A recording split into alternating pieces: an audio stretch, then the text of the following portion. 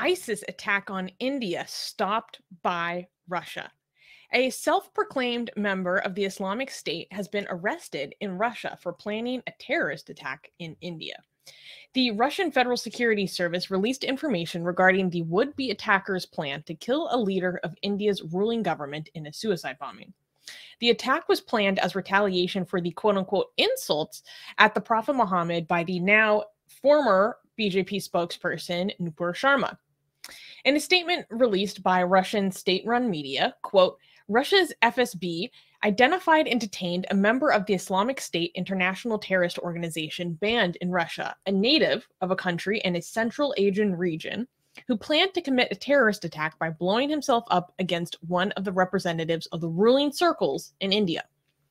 It is claimed that it was a conspiracy to kill a high ranking member of uh, the Bharatiya Janata Party. I know I can't say that right, or at the BJP for short. Russia's investigation agency has also added that to execute the terror plan, the accused has been had been trained in Istanbul, Turkey by ISIS recruiters. In the video, the accused, identified as Azimov, stated, quote, In India, I was to be met and given all the necessary things to commit an act of terrorism at the behest of the Islamic State for insulting the Prophet Muhammad. A probe was started by the Indian officials investigating the case as they await formal evidence from Russia. Um, so I saw this news and I was like, what? We need to talk about this. First of all, I think it should be acknowledged that this was released by Russian state run media. So, to be frank, oh, I, I, I, we have no I idea. automatically have severe skepticism. Yeah. I don't know. Armin, do you think it's unfair to be skeptical of no. this news story simply because it was published by Russia. Okay, you're not denying it. You're being skeptical of it. Of course, you have to be eh, coming from Russia. You have to be the first of all. We have to be skeptical about news in general. Okay. Yeah. but that that level of skepticism has to like be dialed up by a a hundred couple of hundred points when it's Russia. Of course, Russia, like Russia, Russia's media, when it's especially if it's about Russia, is not to be trusted. And again, I don't know why people don't understand not trusting something doesn't mean you're denying that it's true. Okay. When you don't trust something, it means you're withholding beliefs. That doesn't mean you're claiming the opposite. You're not claiming that this has not happened. It might have happened, but you don't know. But if it did happen, thank you, Russia. I haven't had. Um, thank you, uh, Russian officials or government officials. Okay, we haven't said that for a while, right? This has been, but if it's a genuine news, this is a good. This good, good. Like Russia's government does something good. Like we we can't be like uh, biased about that here. Um, Satya has a lot of interesting points in the comments. By the way, ISIS was being trained in Turkey. Like in Turkey, like that's where that's where that's where they're training ISIS these days. Allegedly. Allegedly. But if it's true, Allegedly. I wouldn't. I mean, I mean, if it's true, it's amazing. I mean, Tur- Turkey is not a place that. I mean, I would think if anywhere ISIS was being trained anywhere, it would be like in Syria or somewhere in Africa or in Somalia or maybe even in Iraq, Afghanistan. Yeah, Afghanistan for sure. But in Turkey, like, why would you do that there? Like, that's I don't know. Um, but Satya has some interesting points. I wanted to highlight those. Let me see if I want to highlight all of it. Um, okay, here. Let's highlight this one first. No, no, no. Satya says, "How does no, no, this no. one, this one, this one, this one." Satya says, "Thank God he failed. A Muslim killing the top brass would have burned the whole of India." Yeah, imagine the reaction to that. Oh if that God. was successful, if that was successful, like this is like peak genocide, you know, the tensions in India like are set for like mass civil war between Indians and Muslims. I think maybe we're exaggerating. I don't know. Okay, so this I, would I be this would be the match that would set it off, especially if like I don't know like what which top official which who, who are they targeting? Do we know? It's not exactly clear.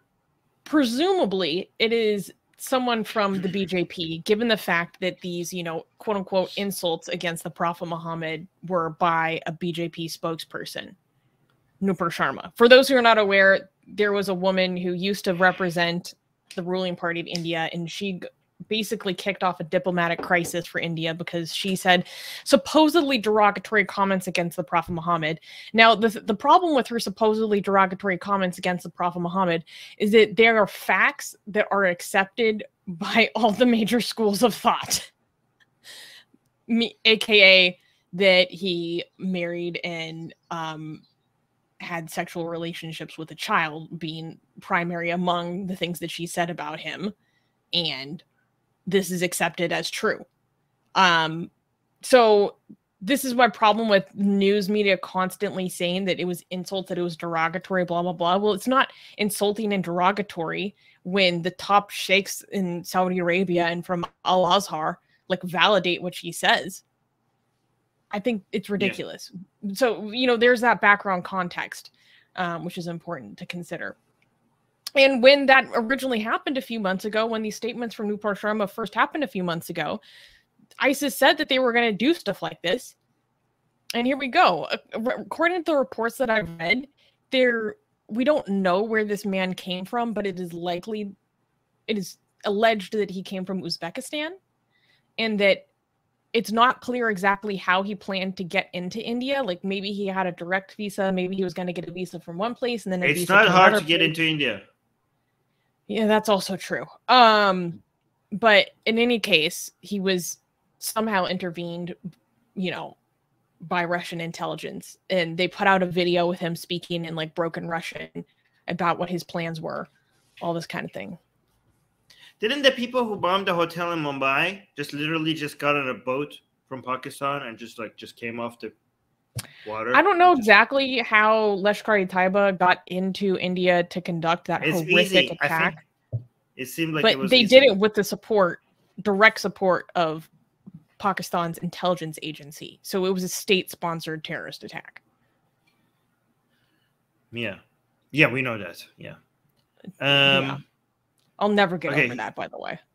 Um, yeah, nobody Satya, yeah, Satya says, How does he think this would have helped the Muslims? This would have made their lives hell. See, Armin, take it away. I already know what you're going to say. oh, say. My sweet, sweet summer child, Satya. you really think this is about helping Muslims? They they want Muslims to suffer. Like, how do you guys not know this?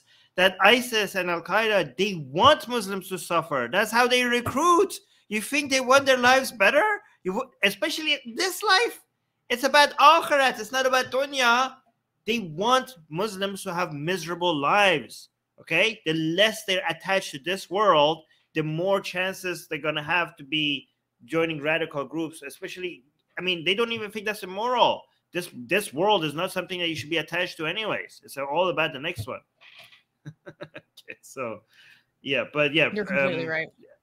And yeah, I know this is something that they openly admit. Like they know that they want other regimes.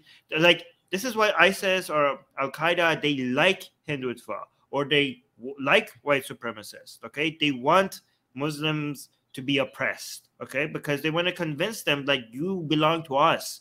These people, uh, you don't. You're not one of them. Stop pretending like you're one of them come fully be on our side. Okay. So there's that. Mm-hmm. Oh, somebody you highlighted this one, so you want to? Oh yeah, this? Derek is saying I didn't even know this show existed until right now. I love Armin's book. I've had it for a long time. Well, thank you ah. for your praises of Armin's book, by the way. And we do this show every week. You can watch us on YouTube or Twitch or Facebook. So come again another time. It's good to see you, Derek. Um, we do yeah, lots of things you. on Atheist Republic, um, and this is just one of them.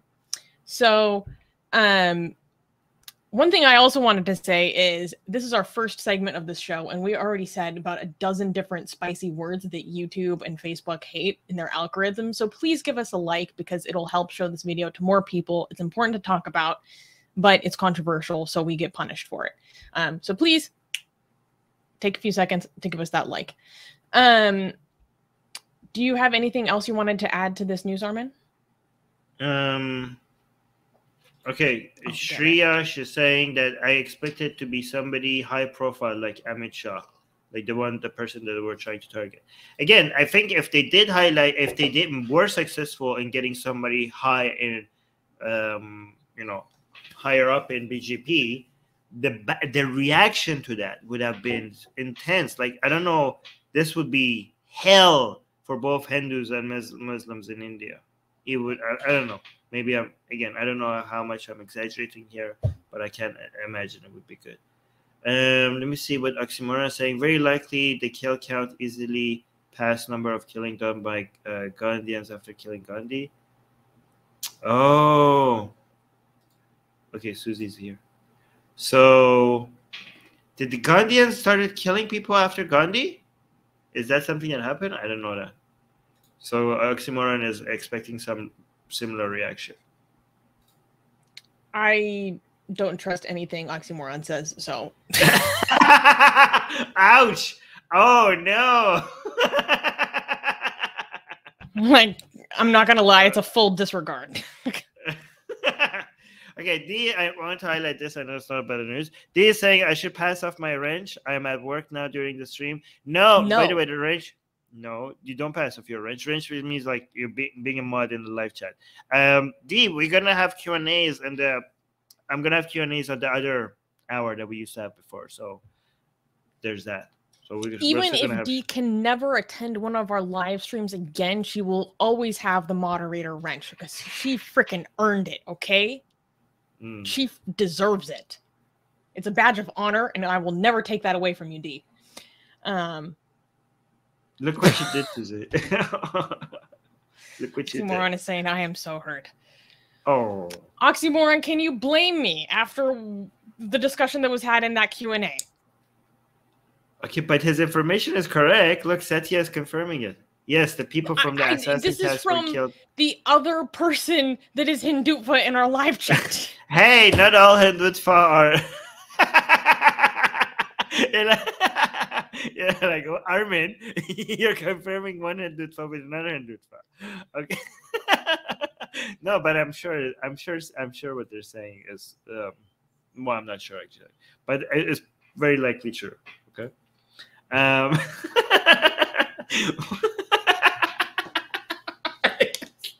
I guess this is face. That's sorry. That's all it takes for Oh, it to be okay. okay. Okay. uh, okay, we have we not all Hindutva. Okay, guys, Susanna has bad experience with Hindutva. It's Look, not even bad. Okay, I don't want to get into it right now because Oh. it's gonna seem like it's personal. Mm. I don't know. Okay, okay, okay. Can we clap for the next news? Oh my god, look at what you started off. I, now there's stuff I want to address, but we can't. Now I'm getting pissed off. Um. So All right, guys, lay off Susie. Lay off Susie in the it's chat. not even. Not. It's not even like. Okay, never mind. Never mind. Never mind. Never mind. Never mind. Okay, okay, Okay. okay, okay. Do you want to move on or do you want to address it? Your choice. She's thinking. Just give me a second. This-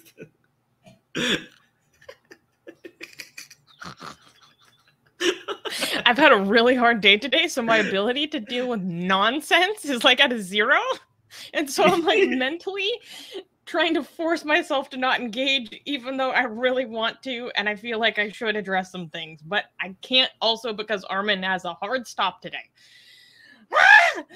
okay. okay, okay. Let's have. How about this? We'll we'll do a rant session, uh, on the, before the next um, news. Okay, you want to do a rant session before the next news segment? Because D is like D is like address it, address it. We'll do a rant next time, next week.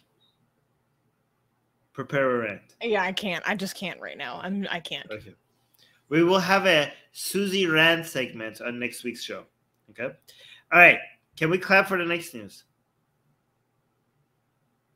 Oh no, I have to say this. Okay, I, I just have to say this. Oxymoron Oh, saying, okay. "Ah, that was Okay. semantics, Susie. You gotta separate emotions in a debate. This is not a matter of separating emotions in a debate, Oxymoron. What you were advocating for, what you were proposing, was legitimately horrific.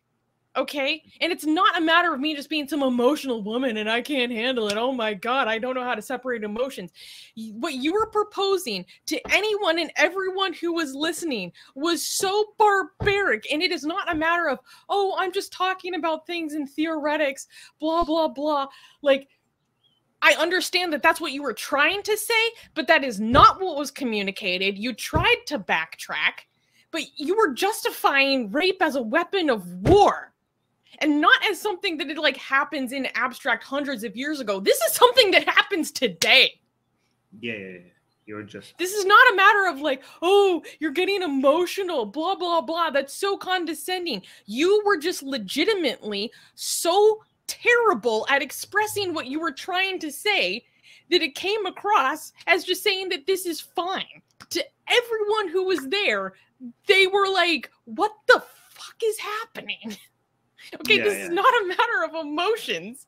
You were legitimately so bad at Yeah. putting forth your position that everyone was like also shocked to their core. I have never heard anyone in my life express these opinions like to my face. It was crazy.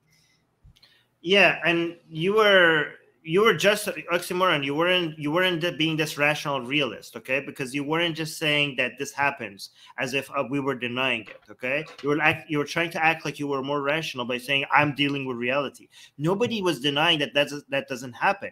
You were the one who was Exactly. justifying it. You were the one who was not just accepting that it happens, but going one further, one step further, and justifying it, okay? And saying literally saying to everybody that it's okay.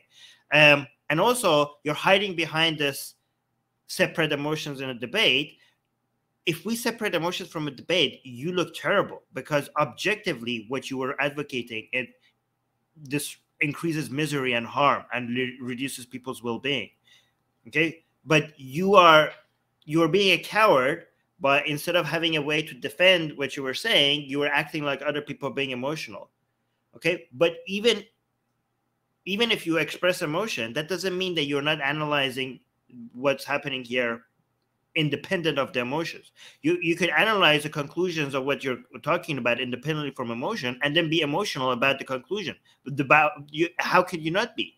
You're advocating for the most horrible crimes right? So how could somebody not be about emotional about that? But without the emotions from a utilitarian um, perspective even like completely robotic calculations everything you were advocating in reduces increases harm in, in the world. So don't act like oh like oh other people are just not being able to uh, think about this without emotion because i can and my verdict is that your everything that you stand for is horrific and and bad Yes, exactly. so after yeah. someone comes and openly expresses that, I think I'm justified in throwing away everything they ever have to say. I'm going to be honest. And it's not Yeah. simply because the hearing something like that makes me emotional. Of course it does, but I can easily separate that out. And when I do separate out my emotions, what stands underneath that is still one of the worst things I've ever heard. The worst reasoning I've ever heard. The worst way of articulating it I've ever heard. okay So I And even- am I wrong I- in saying I am gonna I'm going to be I'm not gonna trust what this person has to say when this is I'm, okay. Woo! There's such there's such a long history. There's other stuff too, but I can't get into that either. okay so even Hindutva disagrees with you by the way uh, satya is like but what what did i do satya is like why am i being grouped together i was against it too so satya is like it's unfair Yes, Satya, I will acknowledge that you were firmly against what Oxymoron was saying. You basically said, we don't claim him, um, which I appreciated. but um, yeah I have to say, your analysis of the Kashmir files was shocking. The lack of awareness was shocking.